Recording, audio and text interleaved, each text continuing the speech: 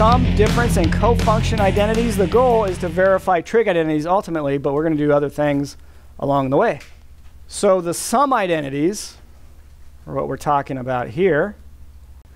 We've got three of them that you need to memorize. The sine of alpha plus beta is the first one. And then we're going to go to cosine alpha plus beta and the tangent of alpha plus beta. So do you have to memorize these? Absolutely. They're the ones that come up all the time in pre-calculus and calculus. So we know that the sine of alpha plus beta is not equal to the sine of alpha plus the sine of beta, right? We showed that with that one particular instance where, where alpha was x and beta uh, was, was 2. Um, but what it turns out to equal, I'll just give it to you. Uh, it turns out to be the sine alpha cosine beta plus, this is the way I like to write it, sine beta cosine alpha. So I'm switching, it's like I'm switching the angles around. Your book writes it cosine alpha. Your, your book keeps alpha beta, I keep sine cosine, the order sine cosine. So your book writes this second term as cosine alpha times sine beta, but that is multiplication, so it's okay to switch it around. So I like it this way because it goes sine, cosine, sine, cosine, and I just remember to switch the angles around. That's how I remember it. And then uh, the cosine of alpha plus beta, that one goes cosine, cosine, sine, sine, with actually a minus in between. So it goes cosine alpha cosine beta minus sine alpha sine beta. So when it's a plus, cosine alpha plus beta. The other side, it's actually a minus. And then the tangent alpha plus beta. Here's how it starts. The tangent of alpha plus beta starts out as tangent alpha plus tangent beta. It looks like the freshman's dream, right? Doesn't that look like distribution? But then the dream But the dream turns into a nightmare. Yeah. So it, it's actually that that whole thing divided by 1 minus tangent alpha times tangent beta. So yeah, the, the freshman's dream is over on this one too. So none of them look like what you'd like them to look like. There's difference identities as well, but it's not really three more separate ones to remember. If you remember these three, you can come up with the difference identities. So if it's sine of alpha minus beta, then that's just going to change the plus right here to a minus. And that's actually easy to prove using the idea of even and odd functions. So if it's cosine alpha minus beta, it's cosine alpha times cosine beta plus sine alpha sine beta. And then if it's tangent alpha minus beta, that's called so that's called a difference identity. Then on top, the plus changes to a minus. On the bottom, the minus changes to a plus.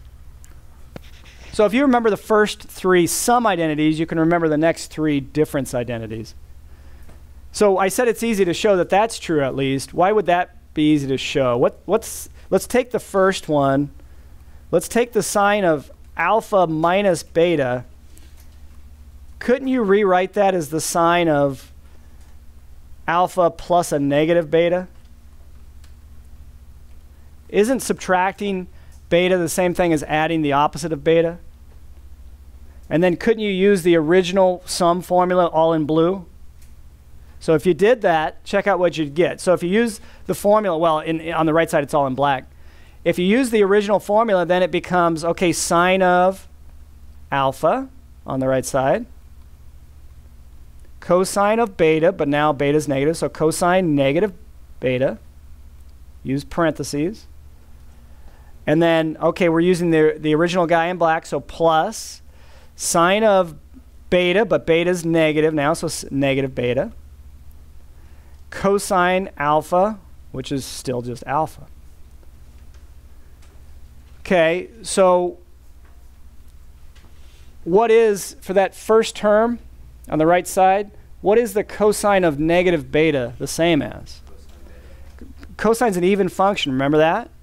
So the sine of alpha, just copying that down. Cosine negative beta is cosine of beta. But then what's the sine of negative beta? The sine of negative beta is the opposite of the sine of beta because sine's an odd function. Remember that? The, the negative, you can pull it out of an odd function. So it becomes plus a negative or just minus sine beta cosine alpha. So you can, you can go from the sum identity for sine to the difference identity by making that, that substitution and, and show that that's true, if for some reason you forgot it. Similarly, you could do that for cosine alpha minus beta and tangent alpha minus beta. So here's an exercise. Um, let's find the exact value of the sine of 330 degrees plus 45. So what is this really? It's the sine of what? 60. So it's really the sine of 3, we'll just add them together. What's 330 plus 45? 375, which is, if you subtract 360 from the 375, it's the sine of, it's the same as the sine of 15. Uh, don't get me wrong here. I'm not saying 375 equals 15 degrees, right? I'm not saying 375 equals 15 degrees. I'm saying the sine of 375 is equal to the sine of 15 degrees because the period of the sine is 360 degrees, right? Okay, so we're really finding the sine of 15 degrees, which 15 degrees is not a special angle, is it? But if you split it up as the sum of two special angles and use the sum identity, you can get an exact value if, for whatever reason you want it, you can get it in this case. So how do we get it? Well, write it down. Your, your idea, Michael. Write it down every time you use it until you have it memorized. So, this is a good idea to do in the homework. Write down sine of alpha plus beta. So the way I like to memorize it is that's the one that goes sine, cosine, sine, cosine, and then that's kind of the template I create. And then uh, just co sin, cos, sin, cos, and then uh, I fill in. I fill it in appropriately. So it's the sine of alpha, cosine beta, Okay, if it's a plus for the, for the uh, sum identity for sine, if it's a plus, alpha plus beta, it's a plus on the right side as well, remember. And then it goes sine, the second term, sine of, you switch the angle, sine beta, cosine alpha if you write it in the order that I wrote it. Does that make sense? Okay, so what's acting like alpha here? Yeah, we could call alpha 330 and beta 45, right? So let's fill it in then. The sine of 330 plus 45, fill in the right hand side of the sum identity, what do you end up with? Sine of, that's alpha 330, cosine of 45, that's beta, plus sine of 45, cosine 330. The angles switch around. So everybody see why I'm doing what I'm doing? Filling in the right side of the sum identity, essentially. Now, oh, this now looks like a familiar problem. You had a test problem that might have looked something like this, right? So uh, what you need to do is just find each one, the sine of 330, what is that equal to, and replace that with what it's equal to. So replace the factor sine of 330 with what it's equal to. What's the sine of 330 degrees? The reference angle would be 30. So that you want to start, eventually get to the point where you can do this in your head. If you're not there yet, that's fine. But think about it. Okay, 330, subtract from 360, that's the reference angle. 30 degrees. What's the sine of 30 degrees? One half, One half except you're in the fourth quadrant, so negative. So I don't care. I'm, we're at the point where I don't care about seeing that work anymore. I just want to see the negative one half. Okay? Could you check that with a calculator? Yeah. You bet. You bet. There's no reason why you couldn't. But if you do that every time, you're going to be pretty slow. These are the, and if you in your next class your, your teacher doesn't let you use calculators, you're going to be in trouble. So be able to come up with this before checking it on the calculator. Don't use the calculator to get it. And then, yeah, you're, you're the calculator. Cosine of 45 degrees? Root 2 over 2 is a good way to write it. So there's the first product, and then sine 45, root 2 over 2 again. Cosine 330. Ooh, is it negative in the fourth quadrant? Students take calculus.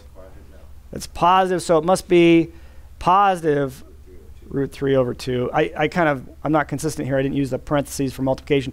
When, when, everything, when both are positive, you could use just the dot for multiplication. Everybody agree with that? Okay, uh, in that first product, multiply the negative 1 half times root 2 over 2. What do you get? If you multiply straight across, yeah, negative root 2 over 4. And then, do you, okay, the second product, multiply, do you guys remember how to multiply radicals? Multiply straight across, what's root 2 times root 3? Root 6. You keep the radical and multiply the radicands, the 2 and the 3 together. And then over 2 times 2 is 4. There's nothing wrong with writing it this way, but since you do have a common denominator of 4, you could combine, well, okay, you, you can't really combine uh, a negative root 2 and a plus root 6. You need the radicands to look the same to combine them, right? But you could write down the addition, negative root 2 plus root 6. Don't try to combine those, and then put one big division bar all over 4 to make it one fraction. Looks kind of nice and tidy that way. So there's a good way to write it. Now, what's a good way to check your answer here? On the calculator, type in, make sure you're in degree mode, type in sine of 15. And then make sure that, that decimal wise, that, that that number is exactly the same as negative rad 2 plus root 6 all over 4. Find the exact value of the cosine of pi 12ths times the cosine of pi over 4 minus the sine of pi 12ths times the sine of pi over 4. Now, the one reason why you have to memorize the identities is you have to know when one is, or part of one is staring you in the face. So which identity does this kind of look like? Pi, it's part of one identity anyway. What is that? Is it pi over 18? No, it's pi over 12 both times. Pi 12s, pi 12s. You don't, okay, fine. Just to inform you, that was I wrote this problem back before I had a lot of experience writing on this pad, so it may not look as good as some of my later writings. Okay, uh, so which one does this kind of look like? Oh, let's go back. You can, during the homework, before you've memorized everything, you can go back and look. Sum identity of cosine alpha plus beta. There you go. So, every time you use it, write it down. So we have cosine alpha plus beta is equal to, okay, the template on that one goes cosine, cosine, sine, sine. And you just have to flat out somehow remember that there's a, when it's a plus between alpha and beta on the left side, it's a minus between the, the products on, on the right side. Okay, and then uh, the angles would be just in order cosine alpha, cosine beta, minus sine alpha, sine beta. So write it down every time you use it. You'll have it memorized in no time. So which part of this identity does the stuff in blue look like? So yeah, uh, what I want to point out then is that this right-hand side kind of looks like this statement, doesn't it? What's acting like alpha? pi over 12. Pi over 12. What's acting like beta? Pi over 4. Pi over 4. I don't know why. I just like saying saying that better than beta. I like the way the. I, I wish I could speak with a British accent. Wouldn't that be cool? Wouldn't you rather listen to me if I had a British accent? Yes. I, I can't do it though. I. I haven't really tried that hard, but yeah, I think I would sound foolish. Next semester, just pick one class Pick one class. and just do your best. Stick with the story that you're from there. Yeah, yeah. Just No matter what. even if even if there's a student in there that had me in another class, right? Yeah. So the idea, guys, is we're going the other way around, aren't we? yes. We're going from the right side of the identity to the left side. So we're going to write this entire quantity as what? The cosine of alpha plus beta, which is pi over 12 plus pi over 4. It's that simple. Well, no, I mean, you're going to want to add pi 12s plus pi 4s, right? So what do you need to add two fractions together? Pi 12s plus pi 4s. So you need that common denominator. What would it be between 12 and 4? 12. So the first one's good to go. What do I need to multiply the second one by? 3.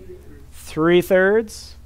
So that becomes pi 12s plus 3 pi 12s or 4 pi, this is scratch work here, 4 pi 12s, which is really, yeah, 4 12ths reduces to 1 third, so pi thirds.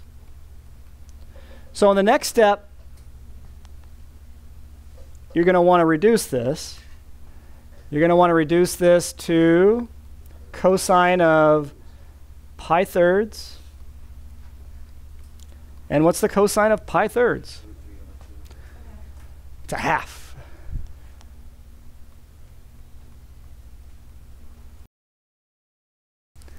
So in this one, given sine of alpha is negative 7 25ths, and alpha is that in Q4, quadrant 4, and cosine of beta is 8 17ths, beta is in quadrant 4, find the sine of alpha minus beta. So this is problem is, is very much like another problem you've, kind of problem you've encountered before. It's just kind of in disguise. We don't know what alpha is. We don't know what beta is, so we can't plug in directly and find sine of alpha minus beta directly, right? But we can use, yeah, eventually we'll use the Pythagorean theorem. But first, how do I have to rewrite the sine of alpha plus beta so that I'm only using sines of alpha, cosine alpha, cosine beta, sine, sine beta, that sort of thing. So the idea is to rewrite or use the difference identity. What's the difference identity for sine of alpha minus beta? Sine of alpha, cosine beta, sine beta, cosine alpha with a plus and a sine. Okay, so like this. And then if it's, uh, oh, careful, you're thinking of cosine, right? So remember, if it's a minus, for sine, the difference identity, if it's a minus here, A minus here. It only changes if it's like the cosine, right? Everybody believe that? Okay. So this tells us what we need to find then. We need to find the sine of alpha. Is there any work to be done there? What's the sine of alpha? It's given to you, isn't it? Good to go. What uh, we also so we need to find this in order to in other words in order to find sine alpha minus beta we need to find this factor. Got it. What about this one? Got it right. But we don't have sine of beta, do we? So how do we get it?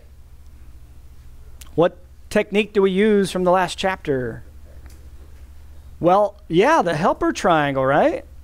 Let's go ahead and draw the angle alpha coordinatized. So we know it's in the fourth quadrant, right? So let's draw alpha in the fourth quadrant.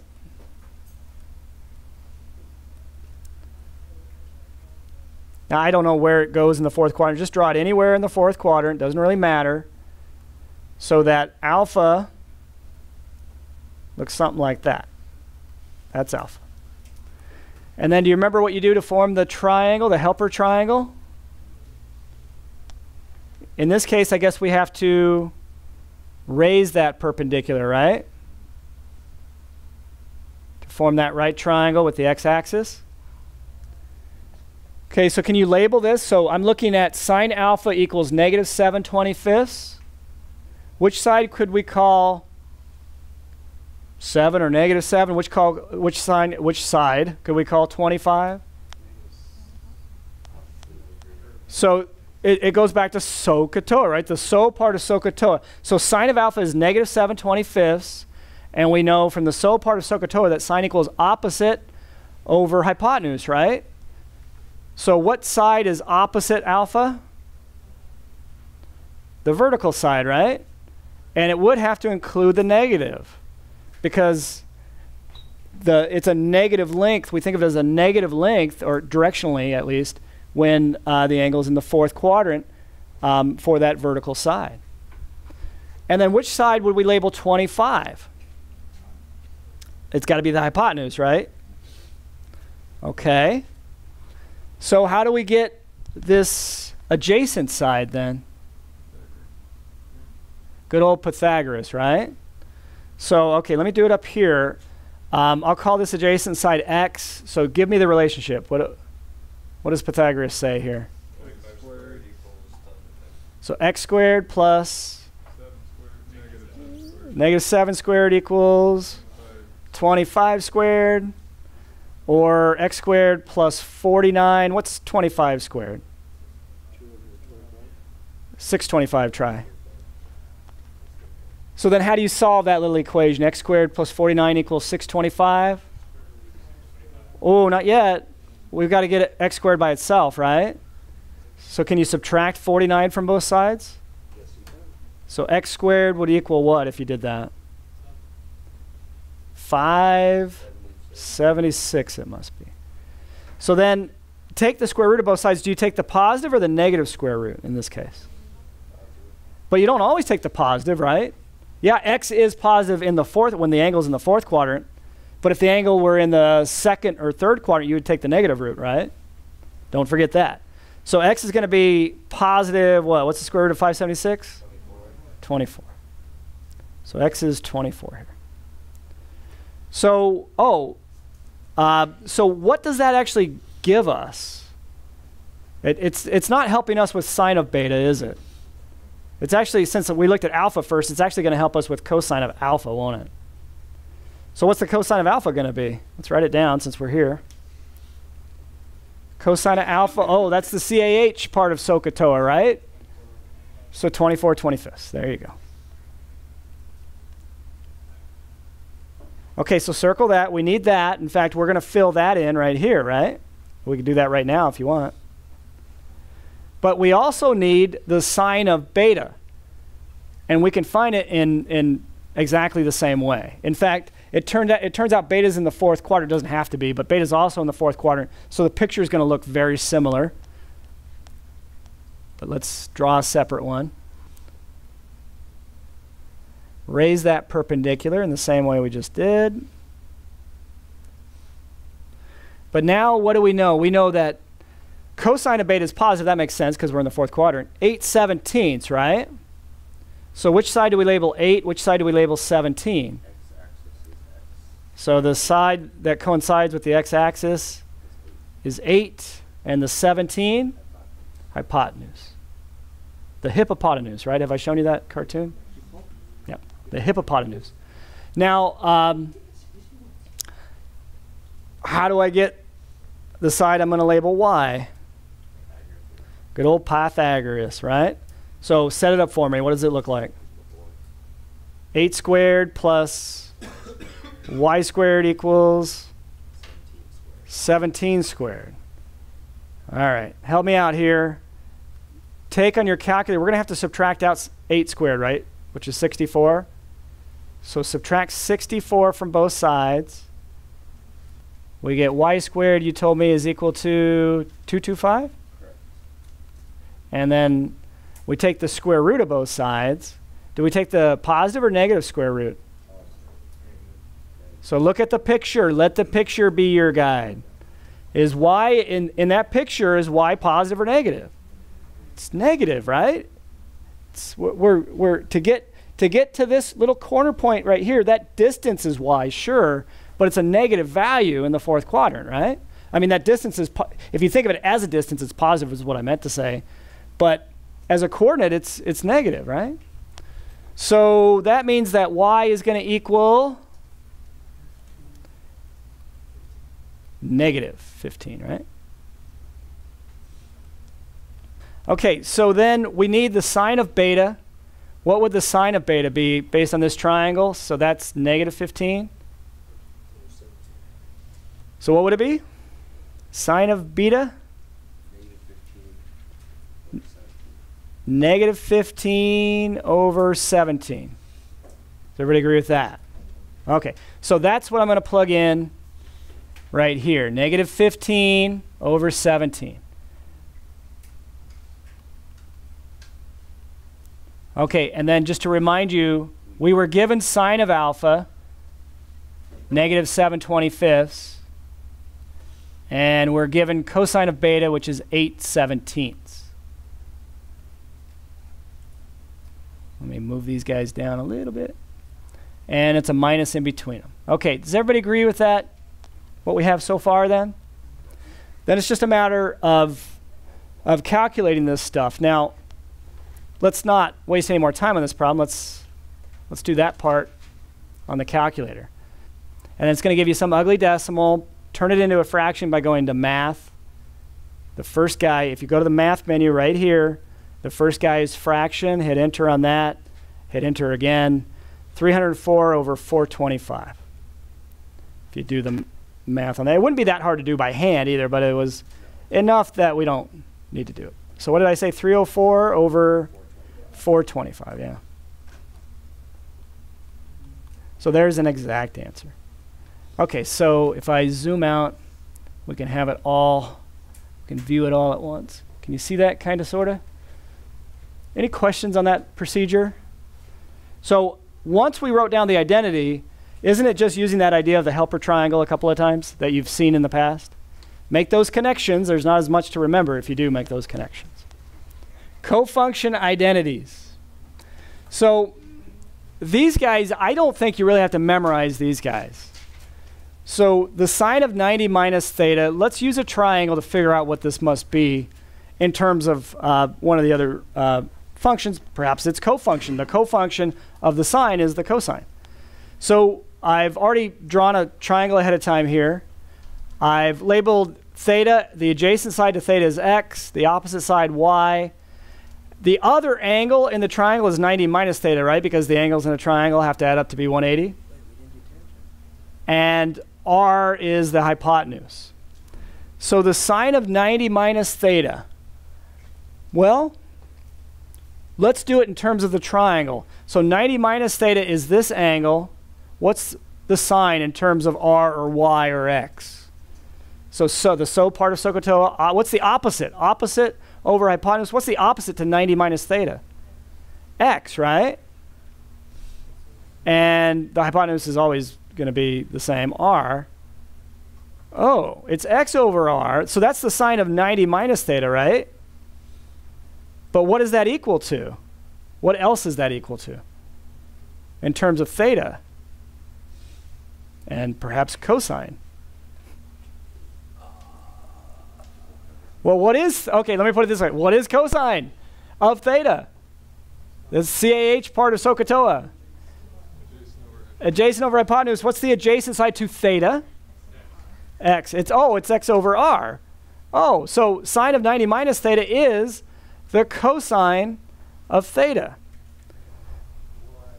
So this may actually tell us where the names of the functions come from, right? Because if you want the sine of 90 minus theta, it's the cosine of the complement of 90 minus theta. The complement of 90 minus theta is just theta. The complement of theta is, is 90 minus theta. So you could say it more generally, generally like this.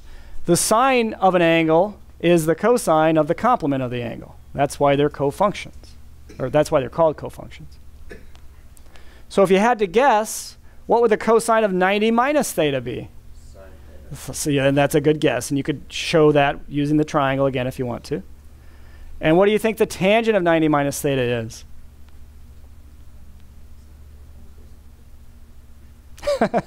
you're, you're not wrong. One. You're not wrong, but in terms of cotangent? How about just the cotangent of theta, right? So if, in case you guys didn't hear what he said, he said uh, tangent of 90 minus theta is the sine of 90 minus theta over the cosine of 90 minus theta. That is true, but that's not what we were shooting for with the cofunction identities. So there's the cofunction identities. Again, if you just draw this triangle, you can figure them out, right? Rewrite in terms of sine in this example, cosine of 80 degrees. So what would the, co- according to one of the cofunction identities, what would the cosine of 80 degrees be in terms of the sine function? It'd be the sine of 90 minus 80. So it's almost easier to remember in English and in words, right? If you want uh, to write uh, some cosine of an angle in terms of sine, you just take the sine of the angle subtracted from 90. So sine of 90 minus 80, which is 10, right? Sine of 10. And that's it. That's all you're asked to do in this problem. So the cosine of 80 degrees is the sine of 90 minus 80, which is the sine of 10 degrees. No more work needed. Seems too easy, doesn't it? So when it says verify, it really means prove the identity, you guys. So what are the rules? Remember, proving an identity, it's a game. It's a game that you play. What's the rule? What are some of the rules, anyway? There are no rules. No, that's Fight Club.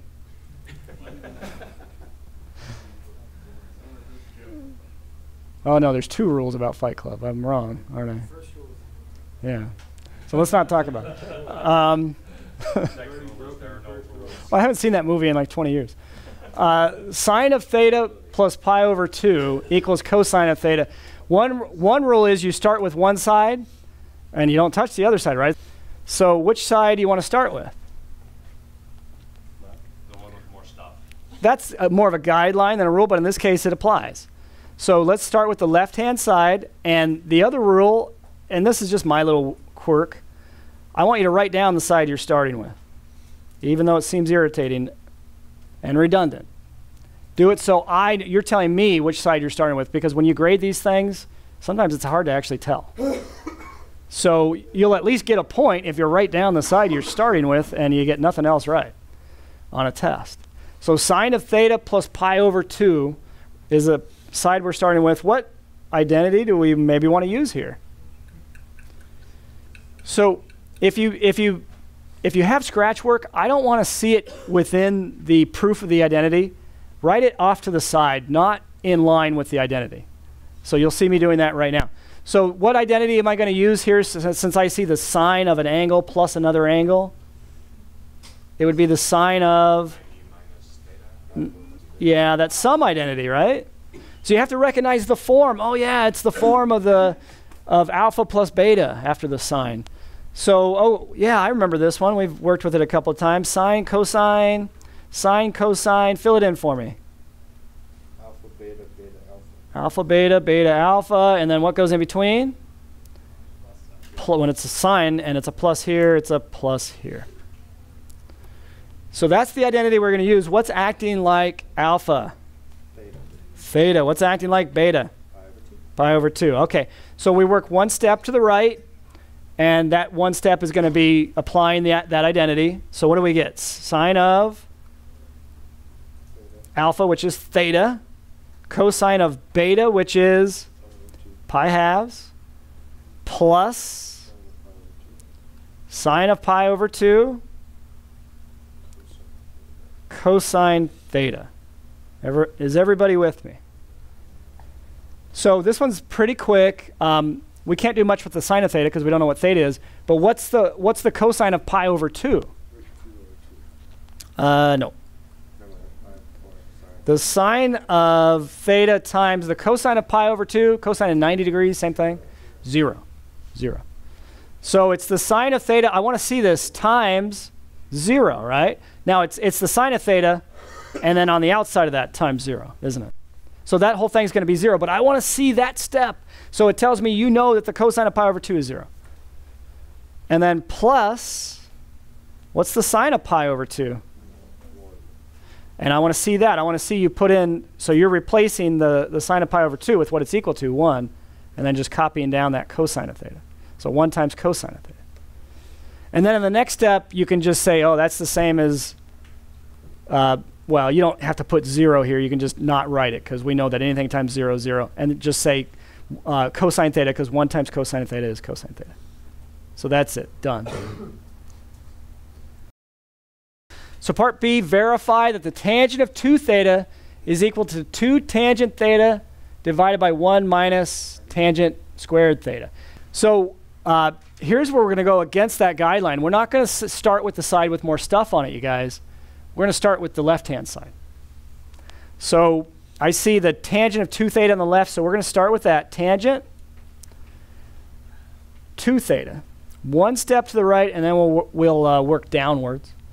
So here's a trick that's going to come in handy in the homework too. You're going to use it in I think question it's either 73 or 77 in the homework. So I can split up that 2 theta and make it tangent of 2 theta equals tangent of theta plus theta. Right? Isn't that what 2 theta is equal to? Theta, 1 theta plus another theta makes 2 theta. And then what so why did I write it this way, you guys? Because uh, now we can use a, a sum identity on it, right? So let's remind you, as you know, off off to the side, scratch work, what the sum identity was for the tangent. The way to remember it is it starts off on top like the freshman's dream, right? So what's the freshman's dream? It looks like distribution. Tangent alpha plus tangent beta, but then the dream turns into a nightmare. Divided by 1 it was a minus the product of the two, tangent alpha, tangent beta. So write it down every time you use it. It'll help you memorize it.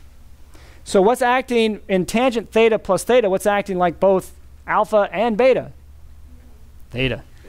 So you don't need to include this in the identity, but just for your benefit, I'm going to think of that first al- uh, that first theta is alpha, the second theta is beta. And then doing my next step downwards, I'm just going to fill in the right-hand side of this identity. Fill it in. You guys do that for me. What do you get? On top, tangent theta plus tangent theta. On the bottom, 1 minus tangent theta times tangent theta. And there's only one more step, right? So here's how you think about it. On top, you have 1 tangent theta plus 1 tangent theta. How many tangent thetas do you have? So you treat them as if they're like terms, and you get 2 tangent theta on top. Then on the bottom, you have a, a, a 1 minus tangent theta times itself. What's another way to write that? Minus tangent theta squared. Right. So 1 minus tangent squared theta, and then isn't that what we were after? So we are done. Whoops, I was going to say equals done, but maybe we'll just put done. Okay?